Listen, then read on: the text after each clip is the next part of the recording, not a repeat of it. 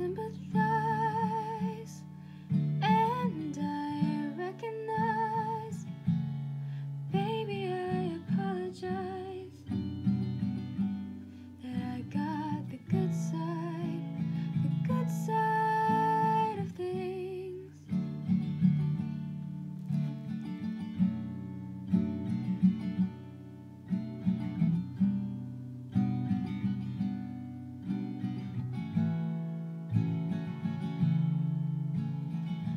I'm sure we'll meet in the spring.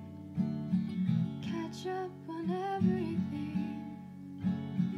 I'll say I'm proud of all that you've done. You've taught me the ropes and you've taught me to love, but I sympathize.